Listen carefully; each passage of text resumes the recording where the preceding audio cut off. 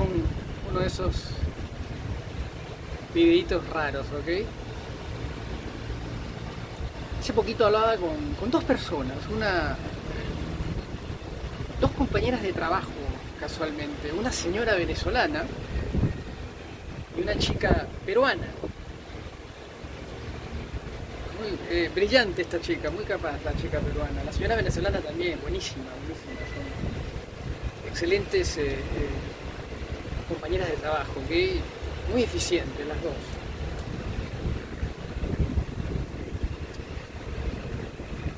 Cuando hablaba con la señora venezolana me, me comentaba a propósito, estábamos hablando a propósito del sufrimiento, ¿ok? Del, sufrimiento del ser humano. Eh, y siempre hablamos, ¿eh? escuchamos ahí, en la noche ponemos un poquito de música ahí en, en la tienda, es una tienda muy grande, ¿ok?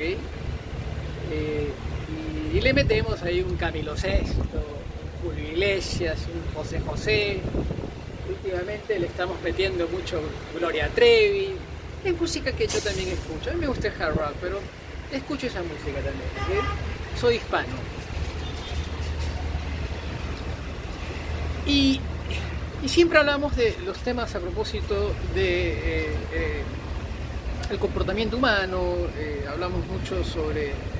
esta señora es de, de punto, punto Fino, Estado Falcón, cerca de ahí, ahí, en, el- en el norte-norte de, Venezuela. Costa, mucha costa, ¿ok? Y siempre hablamos de estos temas. Siempre es un tema eh, recurrente, este, conversamos y, nos escuchamos el uno al otro. Con esta chica peruana, peruana también hablamos de estas cosas, pero eh, desde otro ángulo, ¿ok? Y esta chica peruana me menciona un tema. eh, lo, que pasa que las do- estas dos personas están, este, tienen conocimiento de la situación de mi esposa, por supuesto, ¿no? En el trabajo la gente se termina enterando qué está pasando con tu familia, porque es una situación crítica. Y esta chica este, peruana me decía, eh, no Miguel, el tema es que es el alma el que se enferma, me decía. Y justo curiosamente, no es que le quiera robar el tema, ojo, eh, porque no, no, realmente eh, yo venía pensando a propósito de ese tema, quizás desde otra arista, ¿ok? Y entonces voy a juntar eh, dos este, eh, plataformas epistemológicas, ¿ok? La primera va a ser la psicología científica y la segunda va a ser la Biblia, la palabra de Dios, ¿ok? Entonces, eh, psicológicamente, eh, eh, el ser humano se puede llegar a enfermar. Hay dos vertientes, una va a ser la neurosis, otra va a ser la psicosis. La psicosis, por supuesto, es incontenible, hay diferentes manifestaciones, trastorno bipolar, esquizoafectivo, esquizofrenia, hay muchos, hay, que revisar el DSM, DSM-5 que es el último, yo lo estudié, lo estudié en Harvard, mis profesores eran los que estaban este, terminando, no, yo estudié el, el DSM-4 en Harvard, el DSM-3 lo, lo estudié en la Universidad de Belgrano, en Buenos Aires. Eh, anyway, entiendo mucho de estas cosas, ¿ok?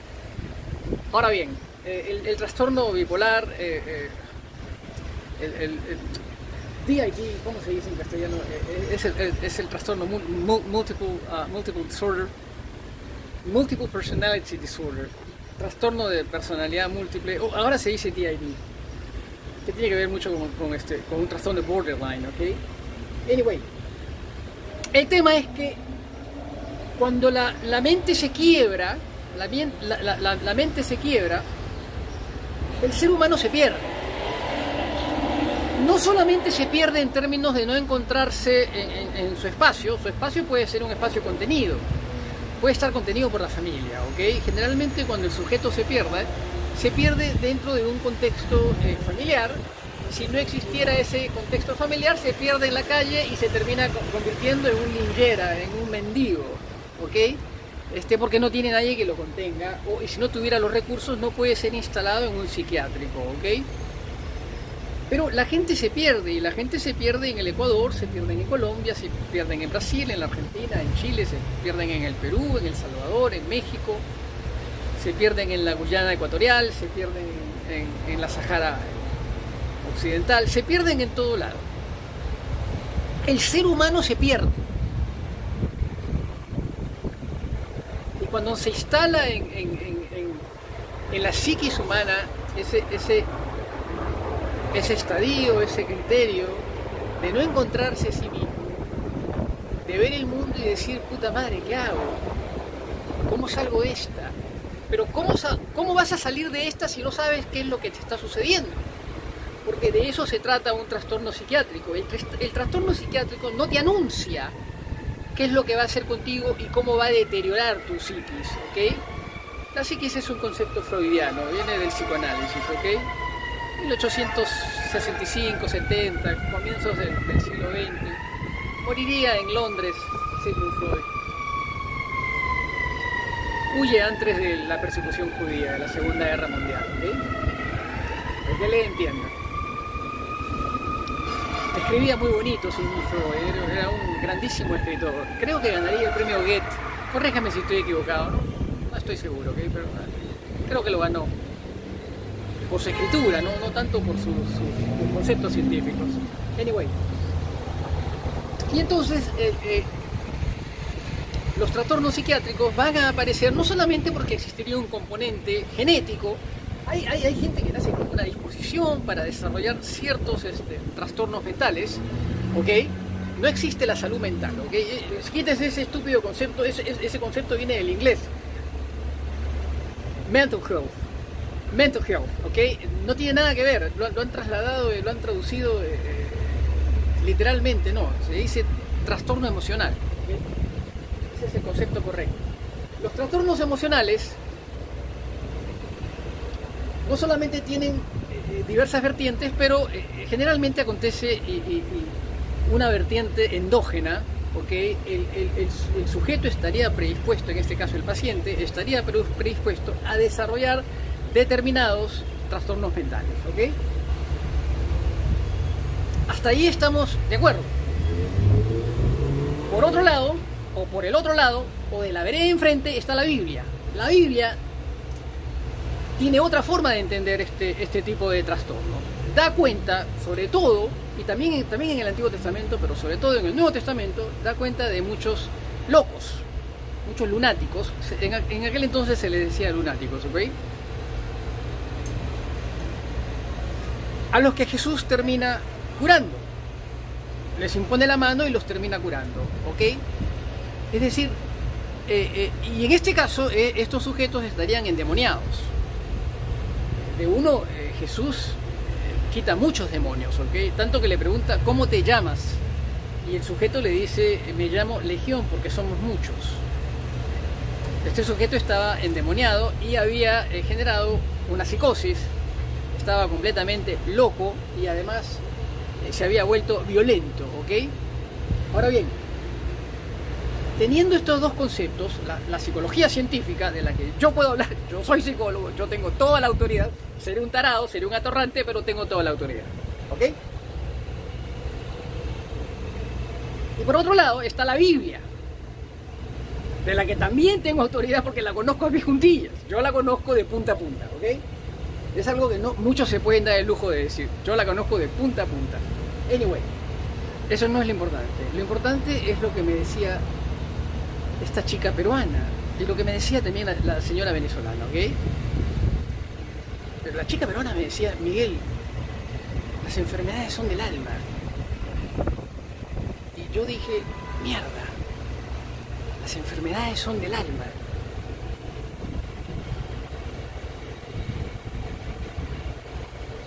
pasaron dos o tres días, unas 72 horas, y me puse a pensar a, propósito de ese problema. Entonces, claro, hay, hay enfermedades que, por supuesto, no, no, sí, el origen podría ser del alma, pero no son del alma. Un, un cáncer, una necrosis, muerte celular, un tumor, una diabetes galopante, que es lo que le acontece a mi mujer. No son tanto enfermedades del alma, son enfermedades eh, físicas que tienen además eh, un antecedente endógeno, están, vienen revestidas de un ADN especial, ¿ok? Familiar, se. Pero esta, esta señorita había manifestado, Miguel me, me decía, las enfermedades son del alma. Y yo me quedé pensando y dije, puta madre, es que tiene razón hay muchas enfermedades que son del alma, no todas. ya, mencioné estas, son endógenas.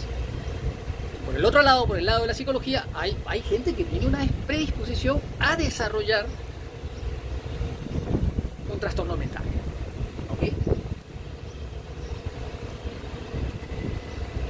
Pero me quedé con el tema de las enfermedades del alma. Y le empecé a dar vueltas y vueltas y vueltas porque realmente realmente hay, enfermedades que son del alma y que nada tienen que ver con tu equipo interno psicológico o nada tienen que ver con tu con la fe que, de la que estés revestido. Seas musulmán, seas judío ortodoxo, seas evangélico, seas católico apostólico romano, seas lo que seas. Nada tienen que ver. Hay enfermedades que son netamente y puramente del alma. Ahora, ¿qué es el alma? ¿Dónde está el alma? Si alguna vez has estado a punto de, cometer una estupidez y tienes una voz interna que te habla y te dice, loco, para la mano, es el alma el que te está hablando. Si alguna vez estando dormido o dormida has viajado, has salido de tu cuerpo, has viajado, has encontrado con gente y has conversado y has regresado. Es tu alma el que sale. No, no estoy loco por decir estas cosas. Esto lo han escrito griegos. Esto está escrito en toda la literatura mundial, ¿ok? Yo no estoy diciendo nada loco. Existe también todo un grupo de metida en, todo un tema que en inglés se dice Near Death Experience. En castellano se, traduce bastante mal, experiencia cercana a la muerte, se dice cosas por el estilo. No, no sé, anyway. Y se habla mucho de estos temas. Pero yo creo que existe un alma, ¿ok? Que existe un alma que, que predomina en todo sujeto, ¿ok? Eh, y, y es el alma el que tiene que ver con quizás el motivo de este video, el propósito de tu vida, ¿ok? Es, una observación personal. Para mí, recogiendo lo que dijo esta, esta chica peruana, para mí, cuando una persona se enferma y no obedece a un problema endógeno, físico, endógeno, y no obedecería a un trastorno mental también endógeno, sino que tendría otro tipo de vertiente y de origen, yo pienso que sería un problema del alma. Eh, el alma que está, que está devastado porque la, la persona no se halla, porque no se encuentra, porque no da pie con bola, porque todo lo que hace le sale mal, porque todo lo que pretende hacer además le sale mal porque todo lo que intenta construir se le derruye, porque todo se le escapa de las manos, pero sobre todo porque no se halla. Cuando un sujeto no se halla en la sociedad, en la comunidad, en el pueblo, en la ciudad, en el reino, en la polis, en su polis, este sujeto se empieza a perder pero ¿por qué se pierde una persona? Una persona se pierde cuando no le encuentra un propósito a su vida. Mierda.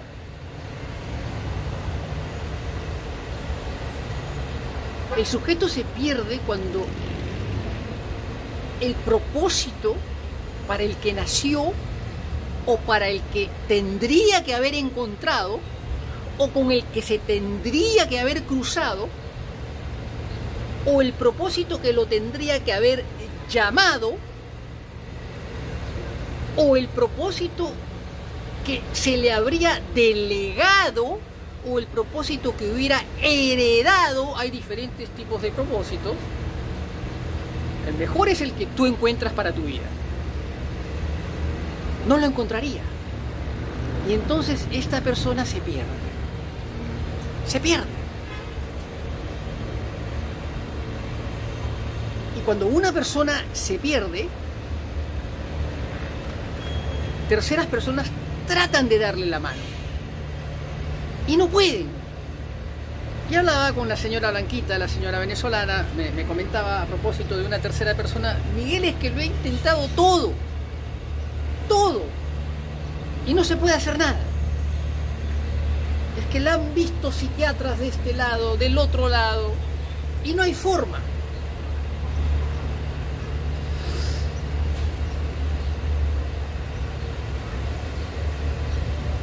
El ser humano ha nacido con una capacidad de superar todos estos tipos de obstáculos si encuentra el propósito de su vida. ¿Para qué naciste? El propósito de tu vida solamente te lo puede transmitir tu alma. Esa voz interna que te dice, esto es para ti. Esto es lo tuyo. Para esto te creó Dios. Aquí está tu capacidad.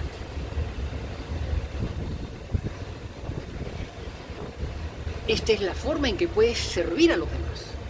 No existe propósito para tu vida si no tenga que ver con servir a terceras personas. El propósito que tú tienes para tu vida no puede ser para tu beneficio personal. Tiene que estar destinado a resolver problemas de terceras personas. Tú eres carpintero en la comunidad, tú colocas ventanas, tú eres jardinero, tú eres plomero, tú eres abogado, tú eres alcalde, tú eres director, director técnico de fútbol, de vóley, tú eres profesor, profesora,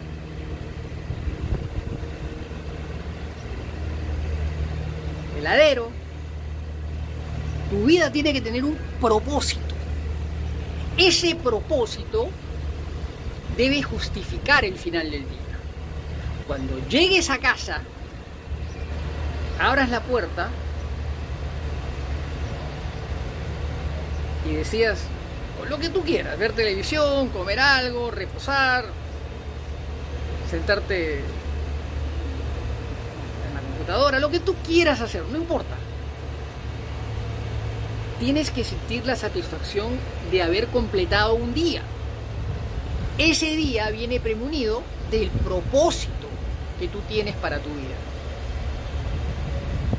Ahora bien, tú puedes estar en una fase intermitente, pero tienes que tener conocimiento que estás en esa fase. Tú puedes estar pasando un momento difícil porque estás escalando una montaña que te va a llevar a una siguiente fase. Y entonces no puedes disfrutar de lo que tú quisieras disfrutar en este momento. De repente estás terminando una carrera universitaria. Estás en la facultad y estás terminando medicina. Y entonces ves a los doctores que están operando, ves a los doctores que están tratando pacientes, y tú no lo puedes hacer todavía, porque no te has recibido. Pero tú sí tienes un propósito para tu vida. Yo no me refiero a gente como tú. Yo me refiero a gente que ha perdido la noción de quiénes son. ¿Para qué Dios te trajo al mundo? Vamos a quitar a Dios del, del escenario. Yo les hablé de dos plataformas, la psicología científica y la Biblia, que es el mensaje de Dios, ¿ok? Primero a través de Moisés y después a través de quién? De su Hijo Jesucristo. Que le entienda. Las buenas noticias.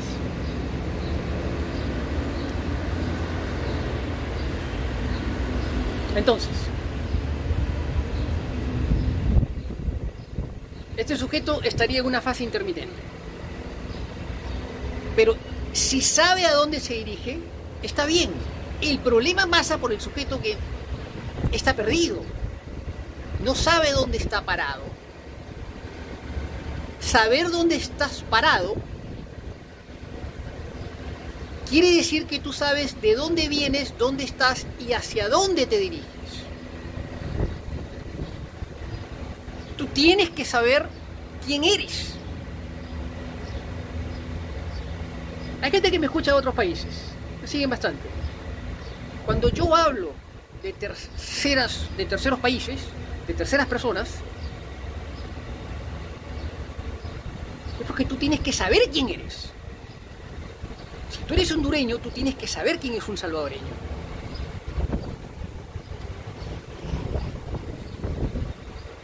Porque la historia está ahí. Y la historia no se va a retirar. La identidad de tu vida viene premunida de un paquete. Ese paquete te define a ti como persona. Ahora bien, el paquete arrastra un propósito. Ese propósito, las más de las veces, tiene que ver con tu profesión o tiene que ver con tu oficio.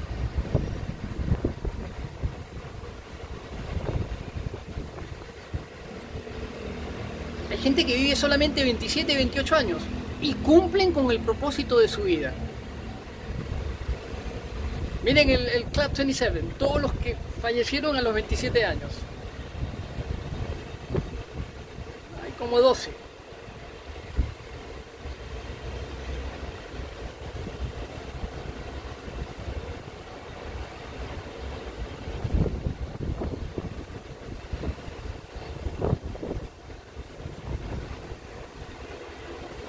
Entonces el alma, el alma se lo ves a la gente en los ojos.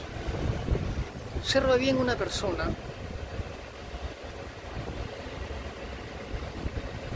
Y es importante observarle el tenor. El tenor tiene que ver con cómo esa persona se va ubicando dentro de su pequeño espacio. Porque en algún momento esa persona puede estar calladita, pero en algún momento va a decir algo. O mucho o poco. Pero en sus ojos está su verdad. En los ojos, los ojos son la ventana del alma, lo dice la Biblia. Lamentablemente, en los ojos se refleja la depresión. La depresión es un trastorno psiquiátrico es terrible y tiene, y tiene varios, este, varios niveles, ¿ok? Más fuerte es el Major Depression, es una cosa espantosa, ¿ok? Paraliza al sujeto. Pero es en los ojos donde tú puedes ver el alma de una persona. Cuando el alma se enferma, escúchenme bien esta parte, cuando el alma se enferma, la persona empieza a migrar determinados problemas, problemas físicos que son eh, denominados psicosomáticos. Pero en realidad sí son problemas psicosomáticos, ciertamente, porque tienen una manifestación física, pero en realidad es un problema del alma. Es esta persona que está atorada, que está trabada,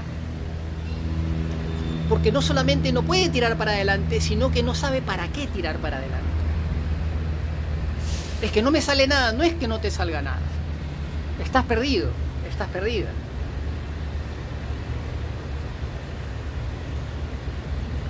Mucha gente que padece de problemas, eh, cualquiera diría que, ah, no, son problemas furtivos, son problemas este, eh, frugales que son intrascendentes. No son tan intrascendentes.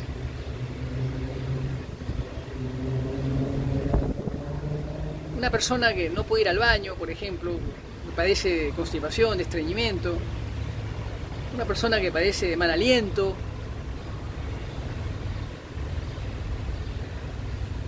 son problemas, problemas frugales, ¿ok? Son problemas muy serios. Terminan paralizando a una persona. Yo conocí a una persona que no podía ir al baño. Es más, salí con una chica que no podía ir al baño. La chica terminó en una clínica. Le tuvieron que hacer un, ah, no sé, Después no la volví a ver. Tuve un amigo que no podía ir al baño. Bueno, sí, iba al baño cada cinco días, una locura. Y después el otro tema que acabo de mencionar. ¿Quién no se ha cruzado con una persona con ese problema? Son problemas del alma. Y muchas veces hay un problema endógeno, por supuesto, pero generalmente son problemas del alma. El alma está triste, el alma llora. Al llorar el alma, hay una manifestación exógena. Lo endógeno muta en exógeno y entonces migra. Y al migrar, terceras personas lo sienten y sienten la tristeza de esta persona. Cuando hablamos de tristeza en una persona, estamos hablando que esta persona no se ha hallado, no se ha encontrado. Últimamente la social media nos muestra gente, ¿no? Sobre todo, eh, yo no te, tengo una cuenta de Instagram, pero yo no, yo no lo uso, ¿no? Para mí no, me parece una estupidez, pero me sirve para ver a terceras personas, ¿ok? Y la gente lo que hace es mostrar su estilo de vida, ¿ok? ¿Qué hicieron, qué no hicieron? ¿Qué comieron, qué no comieron? Y ahí tú te das cuenta más o menos qué está pasando con esta persona. Y tú logras entrever, mierda, esta persona está paralizada.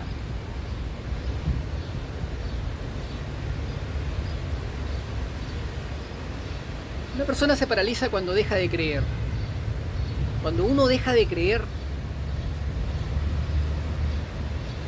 en que se puede tirar para adelante, la persona queda paralizada, ¿ok? Pero es el alma, es el alma, es el alma, es ese alma que todos tenemos. El que nos habla, nos habla y nos dice, loco, está pasando esto, mira. Y a veces nos da salidas. ¿Cuántas veces me he encontrado con, gente que, lo han intentado todo, loco, todo, todo, todo? Y no hay forma, men. Es que es una cosa que tú dices, puta madre. Y a veces le quieres dar una mano.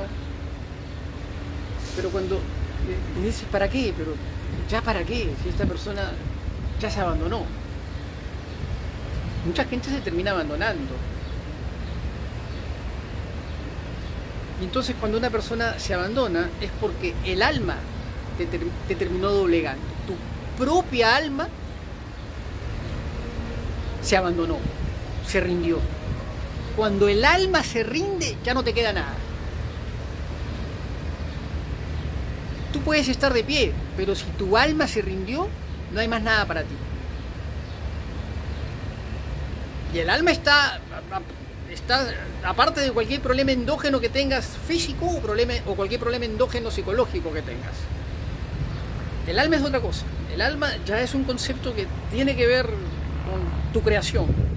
Tiene que ver con la decisión que Dios tomó cuando te creó. El alma, eh, eh, además, es eterna. No, no, sé, considero que Dios la creó cuando te creó a ti, pero, pero la subsistencia que, que le espera es eterna.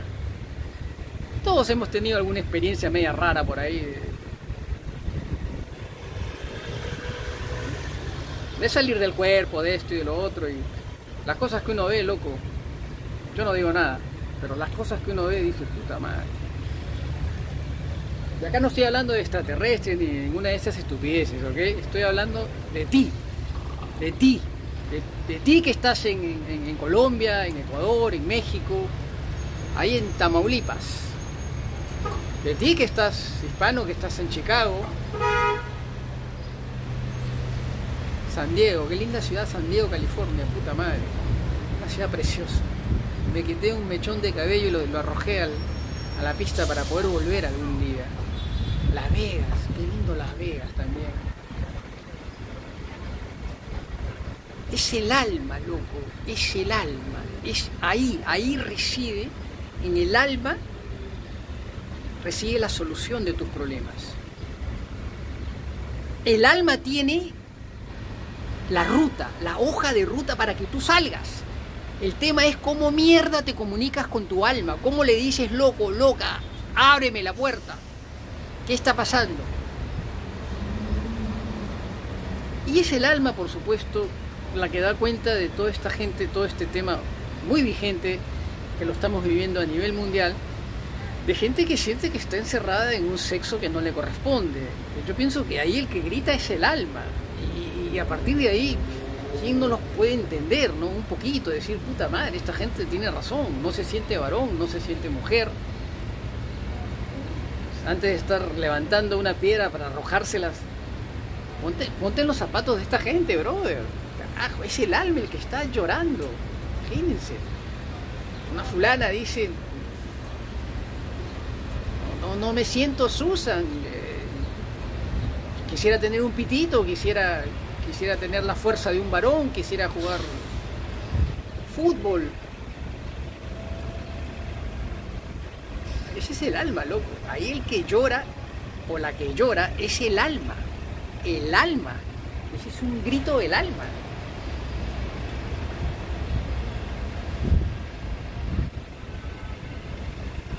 ¿Cómo interpelar al alma?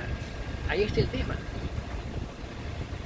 Para mí el alma tiene que ver con el propósito de tu vida. Si tú te esfuerzas por buscarte un poquito, puta madre, ¿para qué sirve? Mira, si lo tuyo es cortar troncos, agarra un hacha, métele, métele, métele, métele, túmbate todos los árboles que te tengan que tumbar, pero que te paguen. De repente eso es lo tuyo, ven. De repente lo tuyo es meterte en una biblioteca todo el puto día y está bien. Está bien, a mí me ha pasado mucho. Bueno, de hecho, a mí me pasa todos los días. Bueno, en un balcón, acá cualquiera.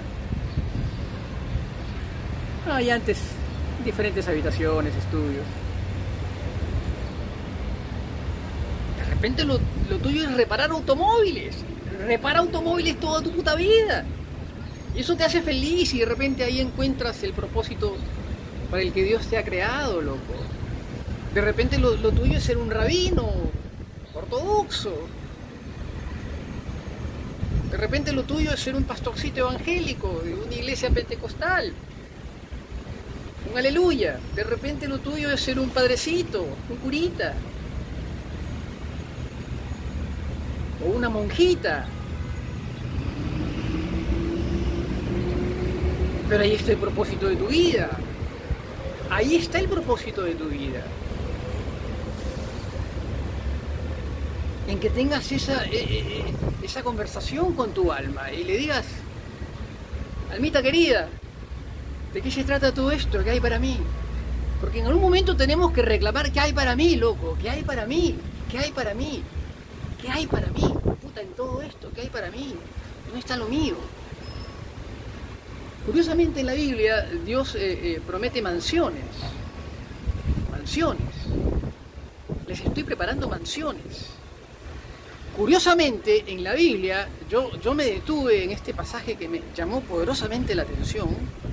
Es más, se lo voy a mostrar, porque lo tengo, esto es de ayer, esto, no, esto está fresquito, me llamó y, y lo subrayé. Me llamó mucho la atención. Acá lo tengo, qué cosa loca, qué cosa loca. Vean, ahí está. Estamos en Lucas, Lucas capítulo 22, versículo 29. Escuchen lo que dice, estas son palabras de Jesús. ¿Ah? Ustedes pueden lanzarme todas las diatribas que quieran contra mí, me pueden arrojar todos los piedrazos que quieran, ¿ok? Pero esto lo dijo Jesús. Dijo, Lucas capítulo 22, versículo 29, está hablando de la grandeza en el servicio, ¿ok? Versículo 29, yo pues os asigno un reino como mi padre me lo asignó a mí. ¡Mierda! Le estaba hablando a los apóstoles, por si acaso, ¿eh? Yo pues os asigno un reino. Puta madre. Jesús era monárquico, ¿ok? Ese es otro tema. Ya les he hablado de ese tema y puedo volver porque ustedes saben que yo soy monárquico, republicano, con fuertes tendencias libertarias. Ustedes lo saben. Ahora, ustedes me pueden decir, Jesús mentía. No, no, no, Jesús no miente, loco. Yo soy el camino, la verdad y la vida. Nadie llega al Padre si no es por mí. Juan capítulo 14, versículo 6. ¿No le crees o no le crees? el propósito de tu vida. ¿Dónde está, loco? Reclámalo. Dialoga con tu alma, dialoga con Dios, dile, loco, ¿qué hay para mí? ¿Qué hay para mí? Salí en mi bicicleta esta madrugada, tuve que, esta madrugada, bueno, hay, días muy duros en, mi familia, ¿ok? Yo, yo, he pasado días que he tenido que cambiar pañales a mi esposa, seis o siete pañales, un día normal es uno o dos, esta madrugada venimos de dos o tres días fuertes, pero gracias a Dios está controlado, ¿ok? Esta madrugada hubo que cambiar pañales a las dos y media, a las tres y pico le digo, Ivette, voy a salir un ratito en una bicicleta por South Beach. Pero Miguel me dice, es muy temprano, es muy tarde, es peligroso, sí, es peligroso, la gente está saliendo de las discotecas, cada loco que ha chupado toda la noche, imagínense ustedes, una bicicleta, eh, puedes terminar en el hospital, ¿ok? Pero salí un ratito, loco. Puta madre. ¿Qué les digo lo que era el viento que te cae en South Beach en la madrugada? 3 y cuarto, 3 y 20 de la madrugada. Me tiraba a los costaditos. Acá se puede conducir a los costaditos de las pistas. Hay un, riel para las bicicletas, ¿ok? Por momentos miraba el cielo y decía, loco, puta, qué rico todo esto. Eh. Gracias. Gracias. Gracias por poder disfrutar de este viento tan rico. Viento delicioso. Una cosa que yo decía, puta madre. Y escuchas a la gente, y hay gente joven, por supuesto, ¿no? A esa hora hay gente joven, nada más. Los viejos como nosotros estamos todos dormidos. Pero a mí me tocó salir un ratito. Y conversé con una que otra persona, uno se para en una esquina, hay tanta gente que te pones a conversar, te preguntan esto, te preguntan lo otro, y después regresé a los 45 minutos. Pero le agradecí a Dios, loco, la posibilidad de poder ver el mundo, ver el mundo otra vez, de sentir el mundo. Yo tuve mucha suerte, encontré muchas pelotas en el área, ¿ok? Pero de encontrar el propósito para mi vida a temprana edad, lo mío fueron las ventas, loco. A mí las ventas me, abrieron el mundo. La venta yo noté que era más rápido que los demás. Tenía competencia, pero ahí estábamos. Tú, yo, yo, tú, tú, yo, yo, tú, tú, yo, yo, tú. Ahí me odiaban, loco. Lo encontré rápidamente.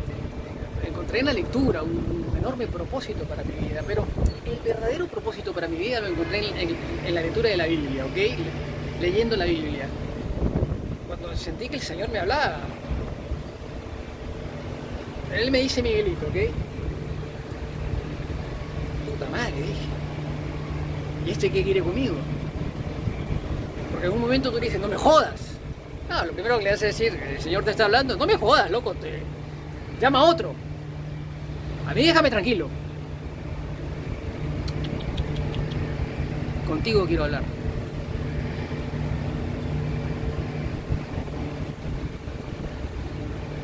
Las cosas que el Señor te habla son privadas, son personales, pero el Señor te habla. El Señor no te habla con una voz audible, obviamente, no se te va a presentar y, y te va a decir, loco, vamos a conversar.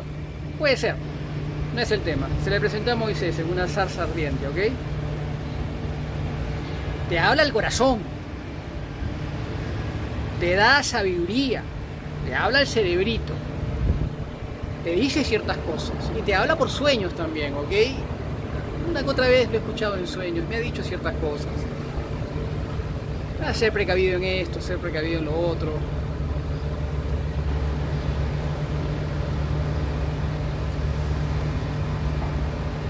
Él quiere lo mejor para ti. Yo he tenido mucha suerte muchísima suerte.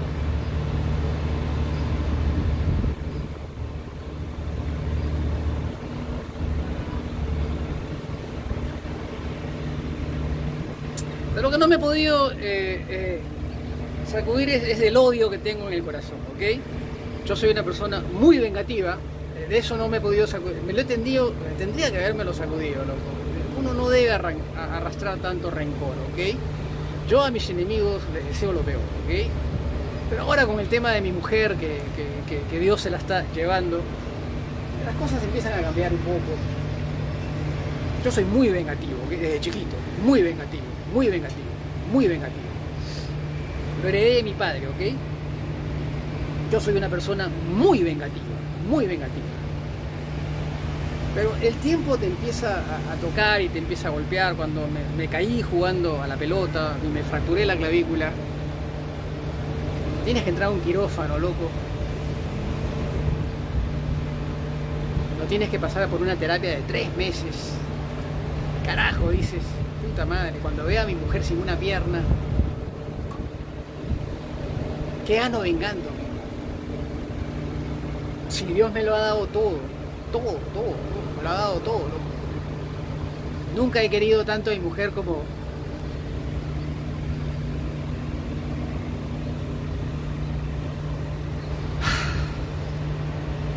como en este momento, ¿ok? Nunca, nunca, es imposible.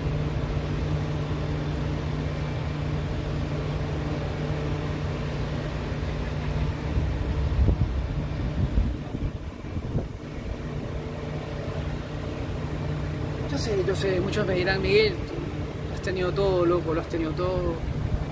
Has tenido una vida privilegiada, sí, privilegiada, en todos los aspectos.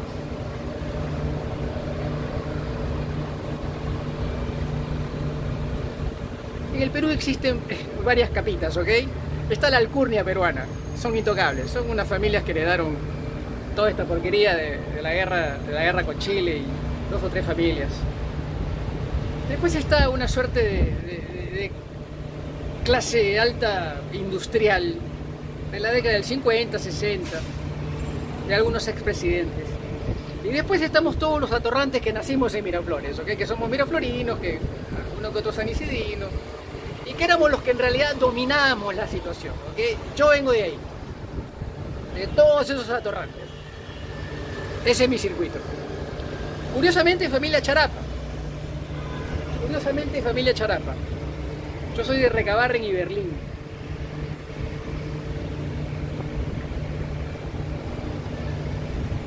Y de ahí viene un grupito de gente que lo hemos tenido todo, toda, nuestra vida lo hemos tenido todo. He tenido mucha suerte en la vida. Pero además eh, Dios ha sido muy generoso conmigo, que yo, yo tomé buenas decisiones en su momento, muy buenas decisiones muy buenas decisiones. Una decisión muy importante para mí fue hacer jogging toda mi vida. Desde muy jovencito hago jogging. La gente pensaba que estaba loco. El año 83, que es el año que salgo del Perú, yo hacía jogging en Lima y la gente pensaba que estaba loco. Al año siguiente en Los Ángeles hacía jogging y me encontraba con dos o tres locos. Había un loco que arrastraba una rueda de, de avión un loco que parecía, no sé, de, esos que entran a los, a los, a los, a los, a los high schools y parecía uno de esos que, que asesinan a la gente, loco.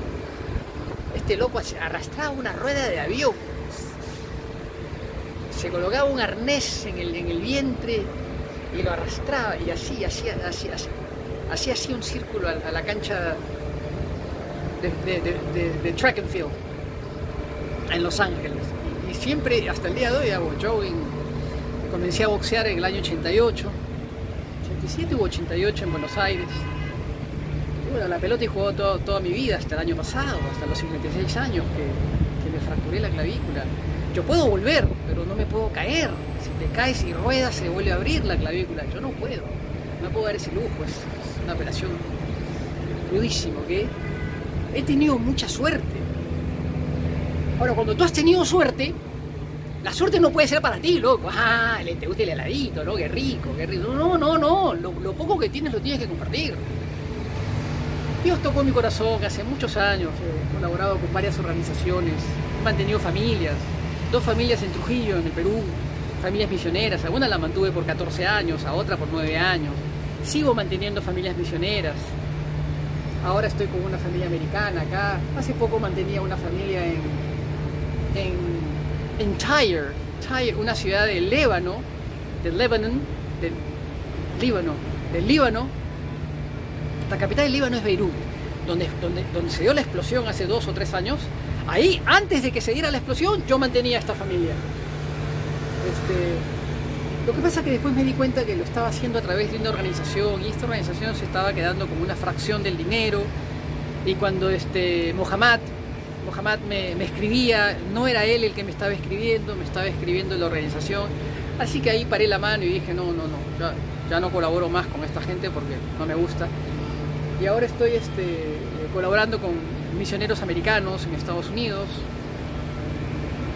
Y ahora voy a comenzar una misión en El Salvador este, con un pastorcito.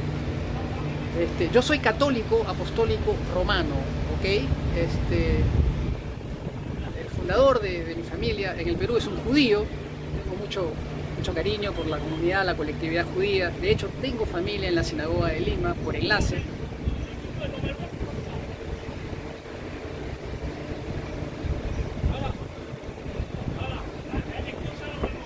Pero tuve mucha suerte. Entonces ahora te formulo la pregunta a ti. ¿Qué te dice tu alma? ¿Qué te dicen tus sueños?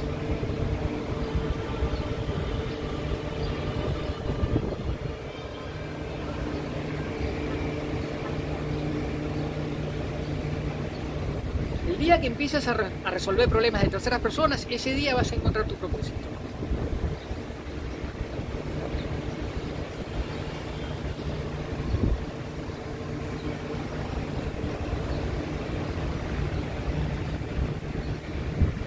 Cada uno tiene una ruta diferente. La, la mía ha sido una ruta muy agresiva. Yo, me he hecho a los escupitajos, a las mentadas a la madre, a los codazos abogados, puta madre, me han llevado a la corte, he llevado a la corte. Lo mío, yo no se lo recomiendo a nadie, ¿ok? Pero claro, uno aprende mucho. Estoy muy curtido. Muy curtido, claro, a mí así nomás no. Ah, ok. Así nomás no. Pero no dejo de haber tenido mucha suerte, ¿ok? Muchísima suerte, muchas pelotas en el área.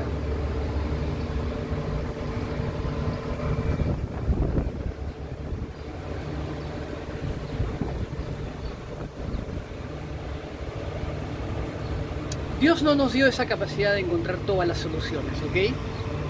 Porque entonces fuera muy fácil.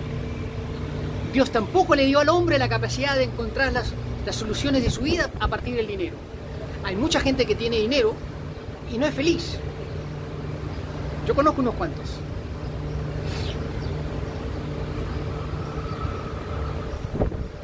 Una altísima ejecutiva hace 15 años más o menos me ofreció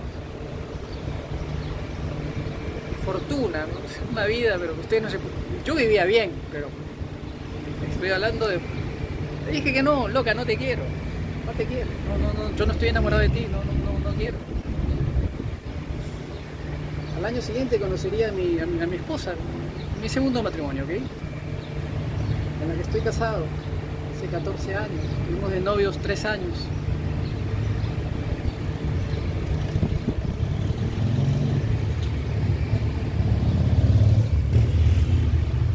No importa dónde estés, no importa, puedes estar en un mercadito, en el mercado de Belén, Diquitos, miren. No importa dónde estés. Puedes estar en Huanchaco, Máncora. He ido a correr ahí con mis amigos. Yo me retiré del surfing porque era un perro. No la veía. Me mandé a hacer una tabla al gordo Barreda del año 83. Me la quise llevar a Los Ángeles. ¿Para qué? Si era un perro, loco. No, no servía para nada. No miro el fútbol. Me acuerdo cuando Verne, Verne Cumberbatch, hizo una rampa enorme, una rampa ahí en Benavides Cuadra 19. Llegamos con el skateboard, y subíamos, a, Werner era el más loco, Werner se trepaba hasta la punta de la rampa y ¡pum! bajaba, una cosa increíble. Estoy hablando del año 79, loco, puta madre. Han pasado 44 años y nosotros la rompíamos. Es una cosa increíble, loco. Pero de mi barrio no salió ningún ningún este, campeón en surfing. Felipe Con no, no participó, era muy bueno en surfing. Está Puñetito Segarra, él sí participó, pero él no era de nuestro barrio, era del barrio del costado. el barrio del costado, Dormilón, el, Chino Ríos Nogales, Booby Brothers, era otro barrio.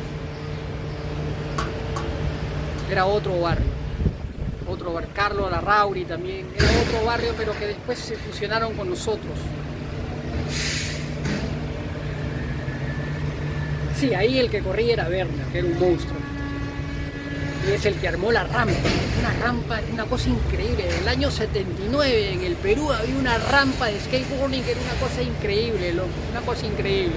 ¿Cómo no tomamos fotos? ¿Cómo no existen fotos de esa rampa, loco? Una cosa increíble. Toño viajaba, viajaba con nosotros, pero él no corría. Toño no corría. Toño jugaba la pelota.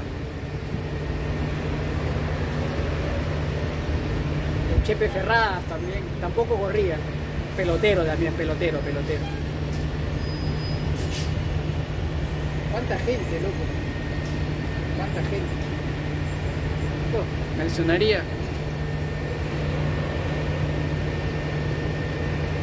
Propósito de tu vida, loco? De repente la cocina. De repente la cocina. Hablaba con Toño, Toño viajaba y me decía, Miki, me dice, puta madre, no hay mejor chef que yo, loco. Me encontré como chef en San Diego. Ahora bien, se casó con una gringa, con una americana. Es una diáspora de, peruanos que tenían pasaporte italiano de, de, donde crecimos. Y han entrado como italianos a Estados Unidos. Está casado con una gringa, con una americana. Y vive en Los Ángeles. Y es un super chef. Super chef. Encontró su propósito. Pero tu propósito tiene que ver con servir a los demás. Servir a los demás.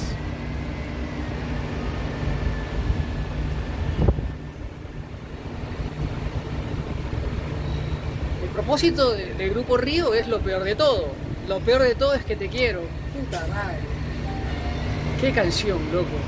El propósito de Frágil es Avenida al Arco. Ese fue. Ahí cumplieron el propósito como banda. Más que eso no puede haber. Y Río, lo peor, lo peor de todo, es, esa, esa canción es un sine qua non.